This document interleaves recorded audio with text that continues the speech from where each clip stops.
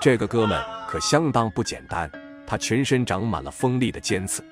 别看他个头矮小，长得像武大郎一样，他可是地球上最不好惹的动物。就算是平头哥蜜獾来了，也要叫他一声大师兄。他的防御能力强到变态，狮子、花豹、猎狗等众多猛兽拿他也是毫无办法。这便是大名鼎鼎的豪猪，在亚洲、非洲、欧洲都能看到他们的身影。豪猪家族共有十一个种类，其中以非洲缅豪猪最为出名。它们体长六十至九十厘米，体重五十斤左右，除腹部外，全身都布满了尖刺。当它遇到危险时，便会将背部和尾部的棘刺全部立起来，然后把头低下，这样整个身体便会在棘刺的包围和保护之下。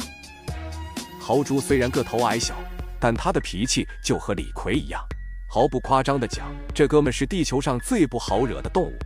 就算平头哥蜜獾来了，也要叫他一声大师兄，因为他会让你体验一回什么是带刺的仙人球。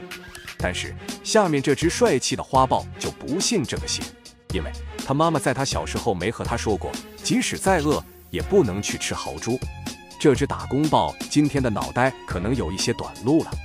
也许是想在两脚兽面前露两手，但是面对这只豪猪，他压根就无法下手，因为豪猪的武器刺在他的身上，疼得他只想叫妈妈。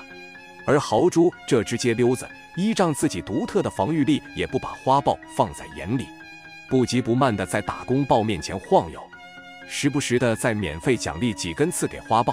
一顿操作之下，打工豹的爪子、嘴巴被弄得血肉模糊。最终，这场战斗以豪猪大获全胜而结束。为何豪猪的棘刺有如此大的杀伤力，能给对手造成严重的伤害呢？因为这些棘刺是由毛发角质化形成的，所以非常的坚硬，平均长度在七厘米左右，末端非常锋利，而且这些刺是可以脱落再生长出来的。当对手接触到这些刺时，便会直接扎到对方身上。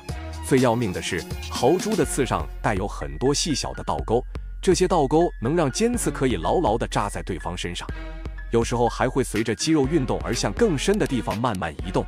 一旦刺到了要害部位，不死也能丢掉半条命，而且强行拔出来的话，还会造成二次伤害。总之就是一句话：你袭击豪猪时用了多大的力，那么受到的伤害就有多大。在非洲，每年都有很多狮子、豹、猎狗等动物。因为去招惹豪猪而受伤，这些家伙很大一部分会出现伤口感染的情况，这些会造成他们捕食能力的大大下降，有的甚至因此丢掉了性命。